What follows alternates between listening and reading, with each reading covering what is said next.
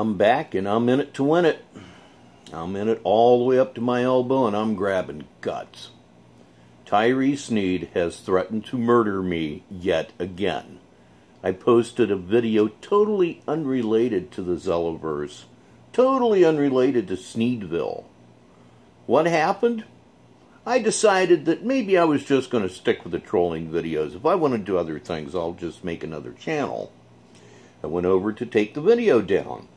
Well, there were comments in the video from none other than Fight Club with Tyree Sneed. The comment was, I will murder you, followed by ellipses. You're not going to murder anybody. You're full of shit. Everybody knows you're full of shit. Even YouTube knows you're full of shit. You've been threatening people for 10 years plus, and you're still on YouTube to me that's that's utterly amazing but that's where we're at in the society. Apparently they don't want to appear to be prejudicial toward the mentally ill. Not worried about your mental illness i'm worried about your black soul and i'm not even worried about that. There's there's not going to be any changing you right now. I said nothing about you for a month.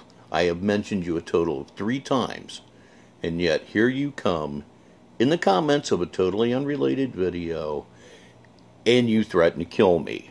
Yet again. I don't know what it is about me that gets up in that really, really shallow head of yours, but it does. I own the penthouse apartment up in that bitch.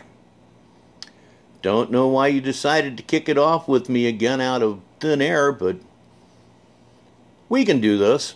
I got time. I'll give you plenty for you to bitch at Todd Morris about. Oh, all kinds of it. You know, the, the homelessness, the bouncing from Motel 6 to Motel 6, occasionally winding up in a homeless shelter.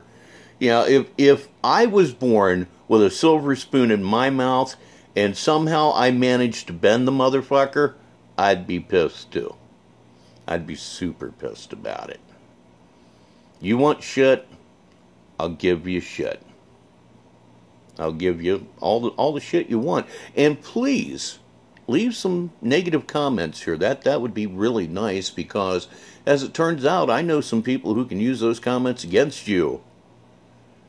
Don't ask me who or how.